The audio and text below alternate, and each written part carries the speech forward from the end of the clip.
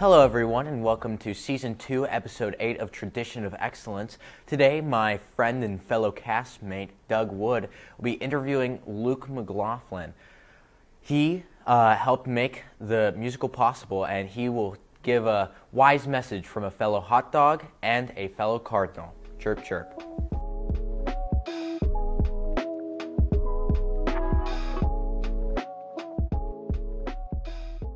Welcome to this episode of the Tradition of Excellence with Luke McLaughlin, otherwise known as Mr. Mac, graduate of 2010.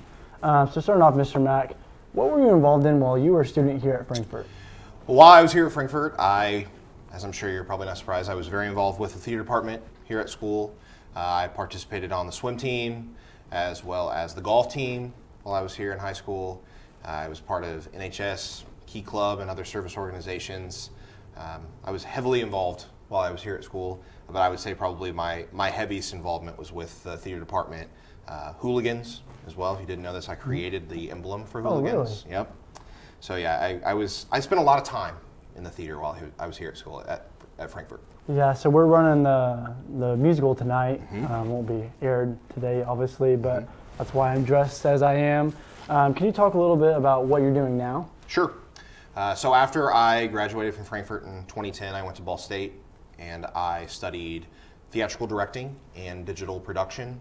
Um, and then after I moved from Ball State, graduated with both those degrees, I worked in Chicago for a while professionally, and then I got my teaching license, went back to school, and started teaching first at Zionsville, and then I started at Clinton Prairie. This is my fifth year at Clinton Prairie, and I teach English language arts there. I direct the fall play, and then we've also started this partnership with Frankfort in the spring to do the musicals together. Yep, and I know you're also involved with um, the Red Barn. Can you Yep. elaborate a little bit more on what you do at the Red Barn in the summer?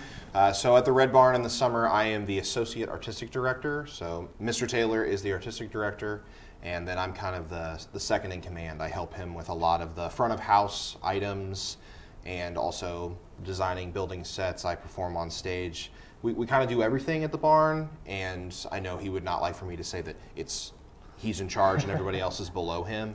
Um, it- it's definitely a a team effort, and I'm just a, a big part of that team. And then the other item that I do here in town is I'm also on the board for Clinton County Civic Theater, really? so I do a lot of the design work for them, building, lighting their sets, and I'm in shows for them as well. So uh, theatrical organizations here in the community, I'm, I'm a big part of a lot of them. I know, so I'm going to Ball State this um, next fall. Mm-hmm. Um, can you elaborate a little bit more on uh, what your time at Ball State was like? Sure. So I loved Ball State, and any student that decides to go to Ball State, I'm always excited for them. When I was there at Ball State, I worked on a multitude of projects. I was a directing major, as I said, so I worked as an assistant director on a lot of shows, both at the University Theater and at Strother. Now they're going to get a big new shiny space here in the next couple of years, which mm-hmm. I'm excited to see what that looks like. But I also worked on short films. I shot a feature length film in Nebraska when I was a junior in college.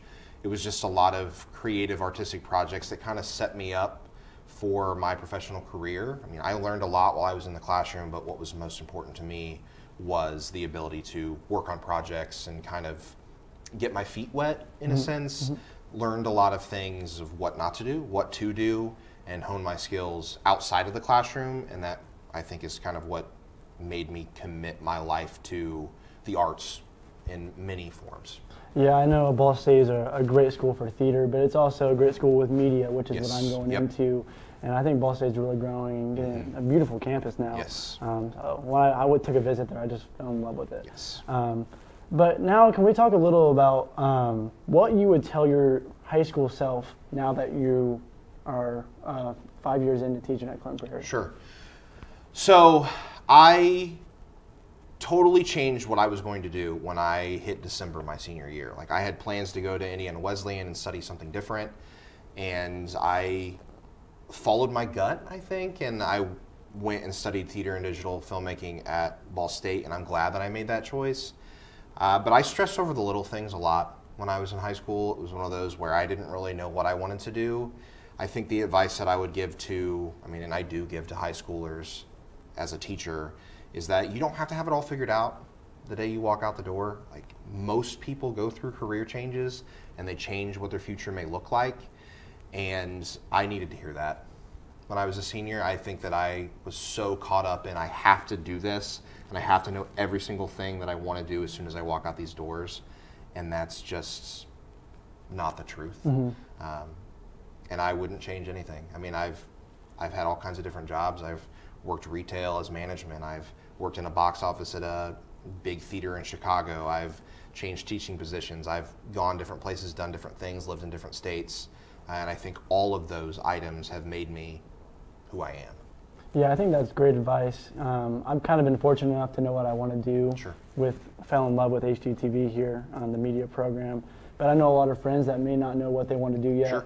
and I think it can be a little scary. Um, Absolutely. Graduating high school, going into the real world, but knowing, you know, you don't have to do what you started doing for the rest of your life. Right. Um, there's just so many opportunities out Yes. there. But that'll wrap up this episode of Tradition of Excellence with Luke McLaughlin. Thank you for tuning in, and we'll see you next time. See ya.